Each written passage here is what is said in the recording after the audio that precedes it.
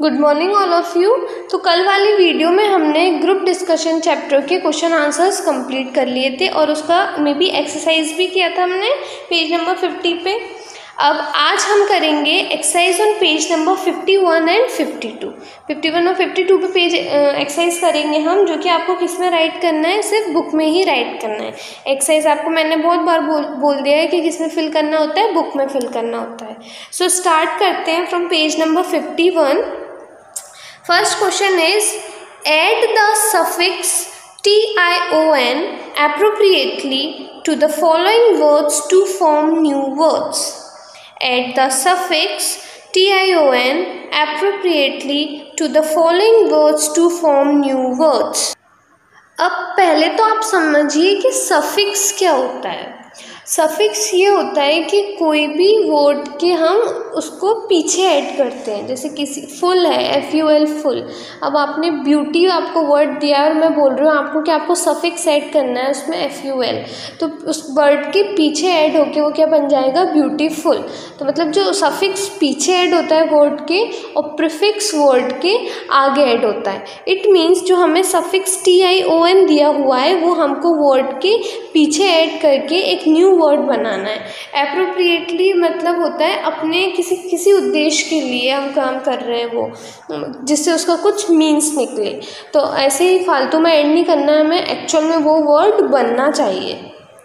तो first word दिया है रिफ्लेक्ट क्या दिया हुआ है? रिफ्लेक्ट तो रिफ्लेक्ट में हमें T I O N add करना है तो क्या बनेगा? R E F L E C T I O N reflection क्या बना? रिफ्लेक्शन देन सेकेंड कंसेप्ट क्या दिया हुआ है मैं? कंसेप्ट कंसेप्ट का क्या बनेगा? C O N C E P T I O N conception third is pollute pollute का क्या बनेगा?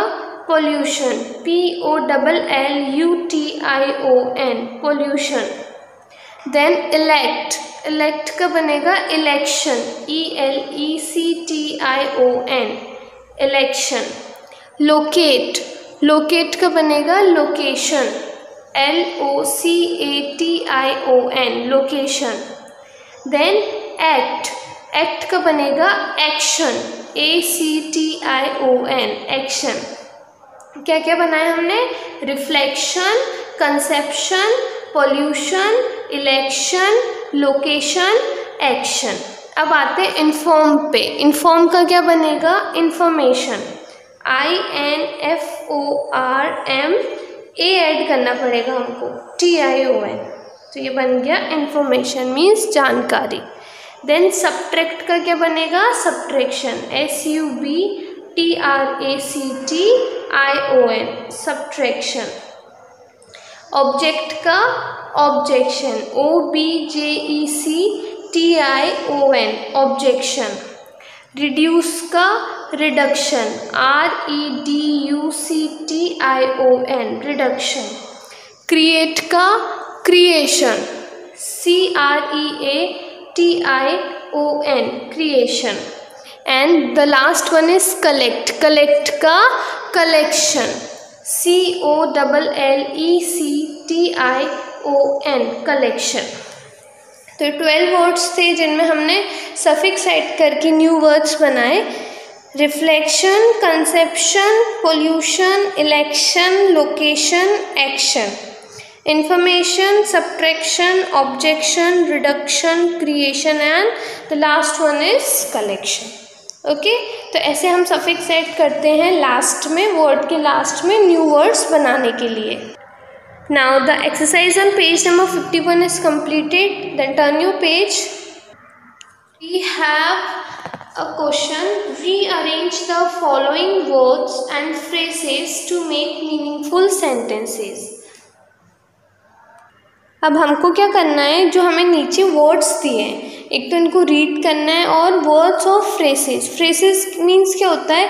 अ ग्रुप ऑफ़ वर्ड्स जो कि लास्ट में जाके एक मीनिंगफुल सेंटेंस दे या मीनिंगफुल लाइन दे हमें. ठीक है? तो हमें इन्हें रीड करना है और एक मीनिंगफुल सेंटेंस बनाना है. जैसे फ़र्स्ट हमारे पास एग्ज़ाम्पल के लिए दिया है. In it is easier to in swim fresh water than salty water. मतलब जम्बल टाइप में दिया है, अब इसको अरेंज करके एक मीनिंगफुल सेंटेंस कैसे बनेगा?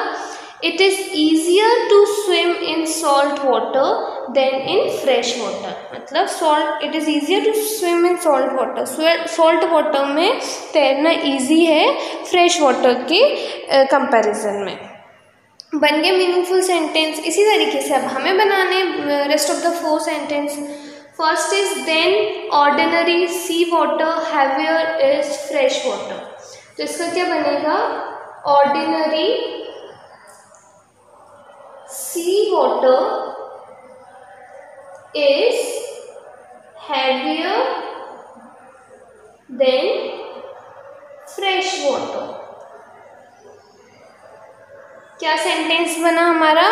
Ordinary sea water is heavier than fresh water ordinary sea water means जो सामान्य समुद्र का पानी रहता है, वो कैसा रहता है? भारी रहता है फ्रेश वाटर के कंपैरिजन में। सेकंड क्या दिया है? Water Dead Sea of is saltier Indian Ocean than of that अब इसका क्या बनाना है हमको? सेंटेंस बनाना है। तो water of Dead Sea is saltier than that of Indian Ocean Indian Ocean. Water of Dead Sea is saltier than that of Indian Ocean. मतलब जो डेड सी का पानी है, वो कैसा है ज़्यादा नमकीन है, ज़्यादा सॉल्टी है किसके पानी से इंडियन ओशन के पानी से अब डेड सी क्या होता है? डेड सी एक समुद्र है, मृत सागर जिसको बोला जाता है। ये कहाँ है? इसराइल में है। अब इसके बारे में एक तो हम डीप में नहीं जाएँगे क्योंकि काफ़ी लंबा हो जाएगा। मेन इसका बात ये है कि क्या है? सबसे ज़्यादा गहरा समुद्र है और इसका एक मेन पॉइंट ये है जो कि फ़ेमस भी है इससे रिलेटेड कि है ना, इसमें इंसान डूब नहीं सकता। यहाँ पे जो भी लोग तैरने आते हैं, वो बिना डर के तैरते हैं क्योंकि इसमें माना जाता है कि वो क्या? डूब नहीं सकते। Third is liquids lighter are some water than अब इससे क्या बनेगा? Some liquids are lighter than water क्या बोला गया है इसमें? Some liquids are lighter than water कुछ लिक्विड्स जो होते हैं, कैसे रहते हैं? हल्के रहते हैं पानी से. Now fourth is a cannot float needle water in.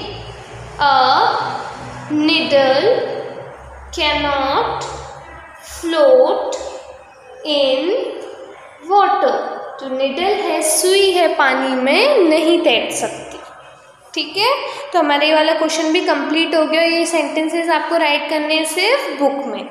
अब आते हैं हम नेक्स्ट क्वेश्चन पे। Message writing message writing. Message कैसे राइट करते हैं हम, आज वो समझेंगे। A message is a spoken और written communication a message is a spoken और रिटन कम्युनिकेशन मैसेज यानी कि संदेश एक बोली या फिर लिखित संचार है। अब हम देखेंगे कि मैसेज बनाने के क्या क्या पॉइंट्स होते हैं, किन बातों का हमें ध्यान रखना पड़ता है जब हम मैसेज बनाते हैं। First is, write the word message on the top. Write the word message on the top. सबसे पहले टॉप पे हमें क्या लिखना है मैसेज वर्ड लिखना है फिर mention the date and time when the message is written date can be written on the left hand side and time on the right hand side mention the date and time when the message is written, date can be written on the left hand side and time on the right hand side.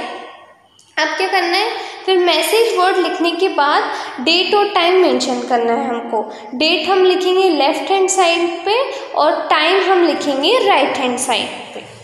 Third begin with a brief salutation begin with a brief salutation salutation salutation means होता है अभिवादन greeting करना। तो हमें किसके साथ start करना है मैसेज ग्रीटिंग के साथ स्टार्ट करना है। जैसे लिखा है, अरुण और dear uncle write the name of the person for whom the message is meant मतलब किसका नेम लिखना है हमको? उस पर्सन का नेम लिखना है जिसके लिए हम मैसेज लिख रहे हैं। Write all the important points do not add anything of your own clearly mention the name of the person who has given the message हमको क्या करना है?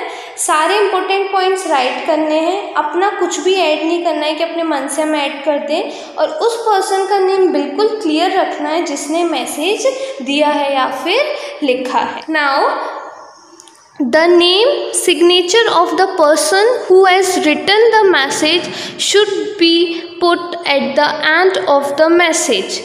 अब नेम या फिर सिग्नेचर उस पर्सन का होना चाहिए मैसेज के एंड में जिसने मैसेज राइट किया है be precise and informative body of the message should not exceed 50 words. Be precise and informative. Body of the message should not exceed 50 words. हमको कैसा बनना है प्रिसाइज मतलब एग्जैक्ट और जानकारी पूर्ण मतलब जो भी हम मैसेज लिख रहे हैं वो एग्जैक्ट होना चाहिए और जो हम इन्फॉर्मेशन देने जा रहे हैं, वो भी क्लियर होनी चाहिए। Body of the message should not exceed fifty words मतलब जो हम मैसेज राइट कर रहे हैं, उसमें वो फिफ्टी वर्ड से ज़्यादा का नहीं होना चाहिए। ठीक है? तो मैसेज राइट करते वक्त हमको ये सारे इंपॉर्टेंट पॉइंट्स याद रखने हैं और ये जो हमने क्वेश्चन किया, वो हम करेंगे सिर्फ़ बुक में. और rest of the work will do in the next video thank you